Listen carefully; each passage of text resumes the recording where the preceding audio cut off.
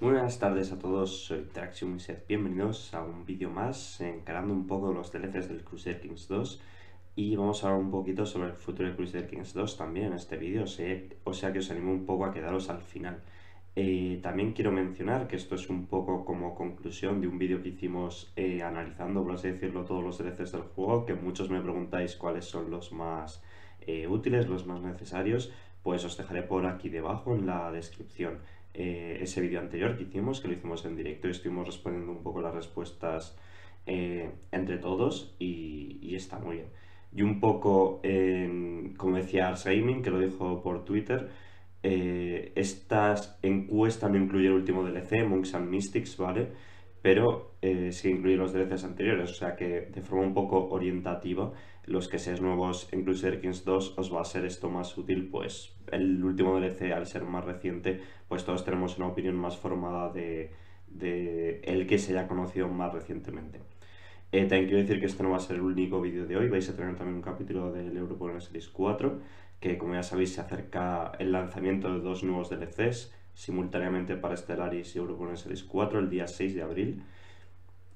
Así que hay que españar un poco con la campaña en Castilla, que está siendo ya una de las más longevas del canal y va a haber que terminarla pronto. De hecho, creo que si superamos el capítulo 43, superaremos la del Victoria 2 con España, que creo que es la más emblemática del canal. Pero bueno, vamos a comenzar ya con esto.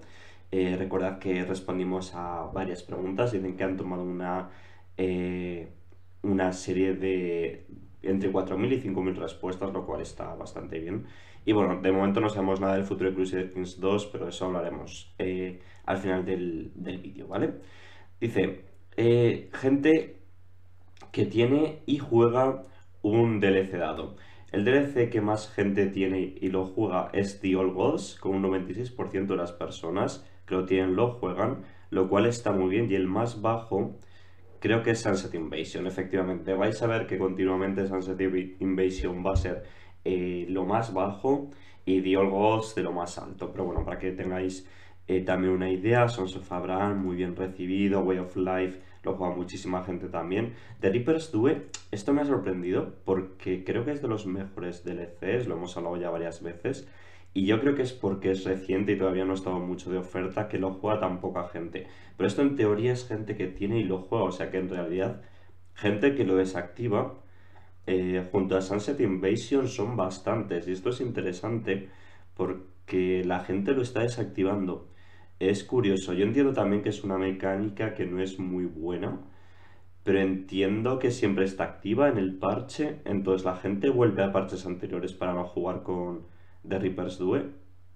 Quizá, no lo sé. Eh, habrá que investigar un poquito más esto. Pero bueno, eh, Rajas of India también bastante bajo, aunque la gente siempre lo tiene activado. Aunque bueno, ya digo que es un DLC que si no tienes, si no juegas por ahí, pues tampoco tiene mucha caña, ¿no? Eh, DLC que es IPO más a la gente, que le dio más ganas a la gente de jugar eh, antes de que fuera lanzado The Old Gods. Un total del 92% de las personas están excitados con el DLC. Mm, y un 64% de las personas, porque podías eh, indicar además que estabas muy interesado, o sea que tenías muchas ganas de que saliera ese DLC, decía que estaba extremadamente interesado. Eh, seguido de Reaper's Due, con un 80% de la gente y un 47% muy interesados. O sea que esto está muy bien. Recordad que toda esta encuesta es simultáneamente, o sea que la misma gente que indicó que, o sea que en un rato después de indicar esto sobre The Old Gods, lo indicaron sobre The Reaper's Due, no es que se han realizado las encuestas en distintos momentos del tiempo, por lo tanto son datos bastante eh, fiables de la opinión actual de la gente, ¿vale? Entonces la gente, pues, de Reaper's Due, la segunda más esperada, por así decirlo, y bueno, mucha gente interesada, y Way of Life. Yo creo que de hecho estas son las tres expansiones eh, core del Crusader Kings 2. Le añadiría Charne Magne tal vez, pero bueno, ya veremos que más tarde había características que no fueron muy bien recibidas del Charne Magne. Pero bueno, yo creo que sin duda las tres expansiones que hay que tener del Crusader Kings 2 son estas, vamos. Por cierto, el de Roma aquí dice algo. Legacy of Rome bastante alto, por cierto. Claro, Legacy of Rome es un DLC que no molesta, ¿no? El DLC que trajo el menos hype, Sunset Invasion, no hay mucho más que decir, la gente no lo esperaba. Eh, de hecho, había un comentario por aquí diciendo, como veis, este tío dice aquí, ojalá no haya más Sunset Invasion. Eh, yo veo esto un poco como un error.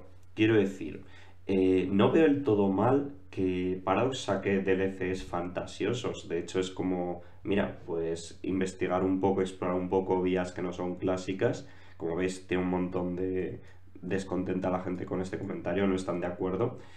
Eh, y que no hace daño a nadie, ¿no? O sea, nadie te obliga a comprar un DLC. O sea, Sunset Invasion no te obliga a nadie a jugarlo, ni tiene una mecánica suya en el, en el parche.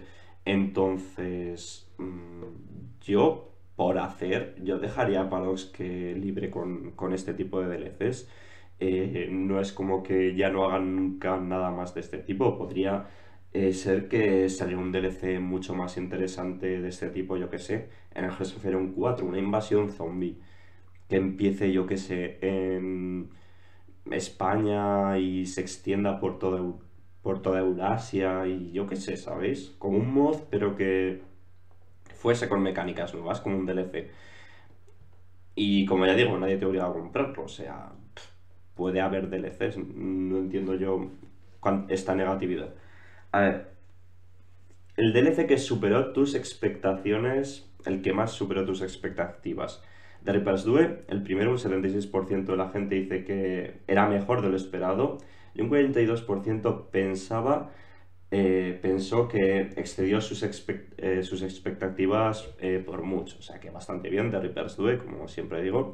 Y el segundo, The Old Gods, en este caso un 82% indicaban que era mejor de lo esperado y un 42% pensaban que excedió sus expectativas. esto lo veo quizá un poco crecido, quiero decir. ¿Hasta qué punto The Old Gods es mejor de, de lo esperado? Eso es yo entiendo que es cuando empiezas a jugar un DLC y dices, joder, esto es mucho más divertido de lo que esperaba. Y eso pasó con The Old Gods, pero en cierto modo era esperable, ¿no? Pero no sé, lo cierto es que ambos son muy buen DLC, no lo pongo en duda. Mm, y el DLC que no estuvo a la altura, Sunset Invasion, no hay mucho más que decir. El DLC que se utiliza más a menudo, Way of Life, The Reaper's Due y The Old Gods, nada más que decir. Way of Life me parece que es el DLC necesario para, bueno, necesario, el que mejor viene para jugar con quien sea que vayas a jugar porque vale para cualquier partida. que junto a The Reaper's me parece que los dos hacen esto muy bien. Y Monks and Mystics también, pero no tan bien porque son cosas muy concretas, esto ya lo hablamos recientemente, por eso me parece que son sin duda los dos mejores DLCs. Y luego Diol Ghost y Charlie McRae, como siempre digo, porque aumentan el tiempo de juego. Pero vamos, esos dos sin duda. Los DLCs que menos se utilizan va a ser Sunset Invasion, Sunset Invasion, seguido de Rajas of India y de Sword, Sword of Islam. Esto es entendible en cierto modo. Eh, Sunset Invasion no hay mucho que decir, pero Rajas of India solo utilizas si juegas en la India. Entonces, también incluye esto las nuevas características, ¿vale? La gente dice un 50% que no las utilizan. Y Swords of Islam, pues, es que hay muy poca variedad en jugar con el Islam. Yo es el problema que le veo al DLC.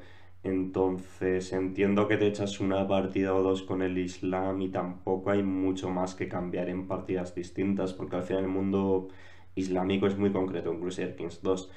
Entonces yo creo que un poco es un DLC que se ha quedado un poco desfasado quizás, Sword of Islam.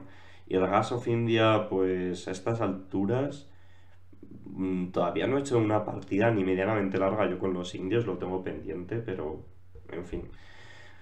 Y la mejor y la peor eh, característica recibida por DLC. Eh, aquí habrá que tener en cuenta que hay DLCs que solo recibieron dos características, así que no habrá mucho que decir. Solo Islam, la mejor recibida la poligamia y la peor la decadencia. La decadencia es un coñazo. O sea, es una mecánica muy desagradable. Sobre todo porque tienes que estar encima de la familia y tal. The Legacy of Rome Retinues, eh, creo que lo miramos en el vídeo, pero sigo sin recordar que era CK2 Wiki para que veáis lo ignorante que soy aquí en vivo y en directo. Retinues, saldrá aquí, ¿no? El sequito. Uy, va, he hecho spam de mi Twitter sin querer. Eh, lo mejor recibido el sequito y lo peor la posibilidad de restaurar Roma. es un poco absurdo. O sea, es como, mira, pues forma un nuevo país. Pues bueno, bien. Y aquí dice eso, que solo había estas dos opciones para este DLC. Está muy bien el, el tema de los sequitos, pensándolo bien. Es un DLC que no hace daño tener Legacy of Rome. Eh, Sunset Invasion, lo mejor recibido la cultura azteca y la religión, y lo peor, la invasión azteca, que es sobre lo que va el DLC, pero bueno. O sea, quiere decir, si no te invaden los aztecas, ¿cómo va a ser su cultura y su religión? ¿no? La República, eh, los palacios familiares molan un montón, eso es cierto. Y lo peor, los casos belli de la República y las restricciones de guerra. Hombre, mmm, va dentro de la mecánica de la República, yo no lo veo tan mal. Es cierto, pues que igual si hay tres o cuatro características, pues alguna tiene que ser como la peor. No significa que sea mala ni la más mala, simplemente entre características que en general están bien, salvo el Sunset Invasion, que es lo que todo el mundo pone a parir, entre características que están bien, pues la que se queda un poco más bajo, puede ser. No significa, ya digo, que sea la peor. The Old Gods, mirad, aquí de hecho dicen jugar con los paganos y los de Zoroastro. Mmm que dice, mira, esta es la mejor recibida de todas sus características, con una masiva mayoría del 92% eh, puntuando esta característica como muy buena. Eh, pero digo, el ampliar la fecha está muy bien también y, y lo peor, los, los aventureros y los aventureros no es una mala característica en sí. Es lo que os quiero decir, ¿no? Simplemente es la mm, menos buena de todas, digámoslo así. Joseph Abraham, los peregrinajes están guay, pero se han quedado un poco atascados ya, ¿no? O sea, ya los hemos visto 3.000 veces. Y lo peor, restaurar el reino de Israel es como lo del imperio romano. O sea, poder restaurar un país, pues muy bien. De hecho, esto creo que tendría que ir con los parches, pero bueno. Bueno, quizá lo del imperio romano no. O sí, yo qué sé, tío. Mm, Rajas of India, las nuevas religiones jugables, lo que más quería la gente, lo más mejor recibido, y el terreno de jungla, que ya ves tú. Charlemagne, lo mejor recibido, los imperios personalizados y los reinos, a mí me parecen bastante me, o sea, porque luego te rompe toda la idea de crear un reino histórico, pero bueno. Y lo peor, la religión Zun, que yo al leer esto me acordé de que existía. Mm.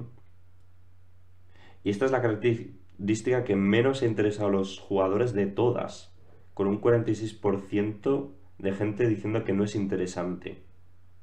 Y después estaría el, la, el terreno de la jungla por, un, por una diferencia del 4%, o sea que las características menos recibidas fueron el terreno eh, de jungla y la región Zoom. Ya ves tú, es que ni he jugado con ella. Pero bueno, igual habría que probarla en un directo o algo. Si esto a 50 me gustas, la probamos en directo. Yo lo dejo caer. Way of Life, lo mejor recibido eh, los rasgos de estilo de vida y lo peor, el foco de carácter. Y aquí dicen que solo había dos características, entonces un poco absurdo, ¿no? Pero bueno, supongo que se llegará un poco. A mí el foco de carácter me parece lo mejor que tiene el juego ahora mismo. Y lo mejor de... A mí en este caso sí que me parecería lo mejor de la expansión. O sea, los rasgos son divertidos, pero no los consigues siempre. Bueno, el foco de carácter te da nuevos eventos y te permite ganar dinero, mejorar tus habilidades. No sé, yo lo veo mejor. Horse Lords, un DLC un poco flojete para mi gusto, pero bueno. Eh, las características de la ruta de la seda, lo mejor recibido. Y lo peor, las políticas del clan, que son bastante me. Pero bueno, no deja, es, divertidillo, no sé. Tampoco lo veo tan mal. El conclave, eh, el rework que hicieron a las leyes, lo mejor recibido. Y lo peor, los favores. Eh, hay gente que está muy en contra del conclave. Creen que se cargaron bastante el juego, el tema de, ver favores y tal. Y luego, eh, recordad que se lió parda con lo de la expansión agresiva y los pactos defensivos y tal.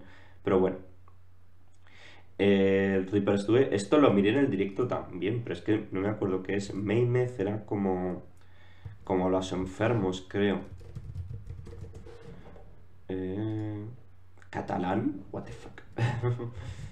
eh, inglés, que lo tengo en español esto, tío. Maimez. Vamos, mutilado. Los nuevos rasgos de mutilados. Pues bien, y lo peor la seclusión, que te quita, no sé si es 3 o 5 de diplomacia, que es una burrada para enfrentarte a las enfermedades. Pero bueno, está bastante bien metida dentro del rollo y tal, pero bueno. Y, y las adiciones que más alto se han votado en un nuevo DLC. Eh, lo que más quiere la gente son los nuevos eventos. Un 73% de la gente que respondió eh, dijeron que esta, este tipo de añadidos se agradecen mucho. Las nuevas fechas de inicio, un 51% de las personas que respondieron dijeron que las apreciaban mucho. ha habido dos DLCs que lo hayan hecho, pero bueno, ojalá haya uno más en las edades oscuras. Y luego Roma. Eh, eh, eh, hacer rework a características que existían previamente, un 44% lo apreciaban mucho. me meto mucho con esto e insisto siempre que hablamos del tema, pero que te cobren cosas que ya han tocado en un nuevo DLC y te lo pongan como que es una característica del DLC, me tocan mucho las narices. Creo que estas cosas se tendrían que añadir de forma gratuita para los que compraron el DLC en el que se añadía esta la característica que fuera en concreto. Pero bueno, mapa expandido, un 40% aprecia esto mucho, todos son mucho, ¿no? O sea, podrías decir que te gustaba, que bien, que bueno, que bien, y que te gustaba mucho, ¿no? Y esto es lo que la gente eh, le gusta mucho. Nuevas leyes de sucesión, 30%. Tampoco creo que se puede innovar mucho en esto. El mapa expandido, perdón, un 40% casi, un 39%. Y meterán China, quizá. Molaría llegar a ver China en el Crusader Kings. Ya se nos iría mucho de las manos, ¿no? Tampoco es que tenga yo un ordenador muy potente para jugar al Crusader Kings 2 ahora mismo, pero... No sé, llegar a ver Japón molaría mogollón. Pero quizá cambiaría mucho el juego, no sé. Habrá que hacer algún vídeo especulando en otra ocasión. Seguimos esperando en los combates marítimos, por cierto. Aunque que los metan ahora sería como romper ya mucho algunas de las mecánicas del Crusader Kings 2, ¿no? Por ejemplo, la serie esta que jugamos con Chipre hace poco eh, nos habría ido muchísimo peor de haber combates navales, pero bueno. Eh, y skins de la interfaz. Eh, no sé si se refieren a mejoras de la interfaz o a nuevos retratos, creo que se refieren más a mejoras de la interfaz, que se agradece, pues sí. De hecho, ahora en Europa le tocan el mapa, de, la interfaz diplomática y tal. Pero bueno, estos son en general un poco la conclusión de aquello que hablamos del, de, de, los DLCs, de cuáles sean mejores y cuáles no y tal. Es interesante ver los resultados y está bien que nos lo haya enseñado Paradox y los hayan comentado y tal. Y bueno, eh, acordaros que dijimos antes de que sea The Reapers tuve que tenían planeados tres DLCs más. Y hayamos hablado de que eh, eh, con este DLC ya solo quedaría un DLC, ya se terminaría el desarrollo de Crusader Kings 2. Pero han dicho que han cambiado su opinión con esto. O sea, en realidad en ningún momento hubo una idea de terminar con Crusader Kings 2.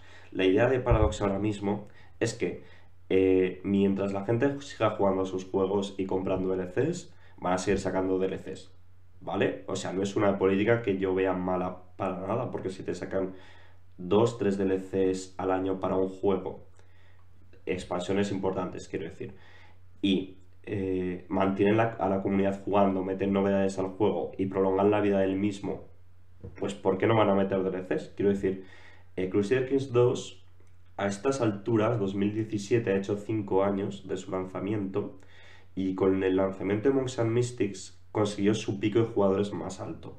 ¿Qué quiero decir con esto? Que cinco años después es un juego más jugado y que ha hecho eh, más dinero que Stellaris o que Hearts of Iron, por ejemplo. Por lo tanto, mantener estos juegos y seguir sacando DLCs es bueno.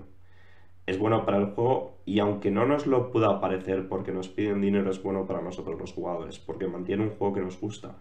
¿Quién jugaría el Crusader Kings 2 hoy en día si llevasen años sin sacar un DLC? Y me diréis, bueno, sí, es que siguen jugando, se sigue jugando la gente a Victoria 2. Bueno, sí, yo puedo seguir jugando al Age of Empires 2 clásico si quiero, pero eh, mantener el ratio de jugadores al nivel que está manteniéndose eh, los juegos de Paradox es brutal. O sea, eh, puso Freddy Quester en Twitter, lo que pasa que no lo encontraré ahora los, el índice de jugadores que hubo el último mes en los juegos de Paradox y era algo así, tal que Europa Series 4, eh, que aún no se ha lanzado Mandate of Haven ni nada, ya unos días y tal, pero es el juego más jugado de Paradox, sigue siéndolo, es que bueno, a nivel de multijugador y de single player, que os voy a decir, 14.000 jugadores mensuales. Crusader Kings 2 muy pegado con 14.000 y pico también, muy pegado detrás de él con el lanzamiento de Monks and Mystics. Eh, y luego ya iba eh, Hearts of Iron con unos, no sé si eran 9.000 o 8.000 jugadores. Y luego Stellaris con 6.000. Con 6.000 y Victoria 2 pues estaría bastante más abajo, supongo. Entonces, eh, es que sin estos modelos de DLC, estos juegos serían un fracaso. Y yo lo digo así. Y Europa Universalis 4 es infinitamente mejor lo que es ahora de cómo lo era en el lanzamiento. Que sí, que se podría mejorar de forma gratuita. Pero la gente sigue jugando y lo están consiguiendo. Y, jolín, este canal, por ejemplo, existe en parte gracias a eso. Muchos venís al canal a informaros y no a ver gameplays y tal. Y yo intento comentar un poco estas cosas. Entonces, resumiendo, que no va a ser el siguiente, el último DLC de Crusader Kings 2, va a seguir habiendo. Yo diría que habrá tranquilamente dos por año. Igual este año, como eh, este Monks and Mystics ha salido muy pronto, entre comillas, podríamos llegar a ver tres DLCs, pero aún así lo veo difícil. ¿Y por qué no? ¿Por qué no? Seguir adelante. Si la expansión es interesante, nadie te está obligando a pagar por ella. Si es divertido, ¿por qué no? ¿Sabéis? Y el juego, el juego es una obra maestra. Pero en fin, que me estoy viniendo arriba. Lo vamos dejando por, por aquí. Así que nada, muchas gracias por llegar aquí. Nos vemos en el próximo. Chao, chao.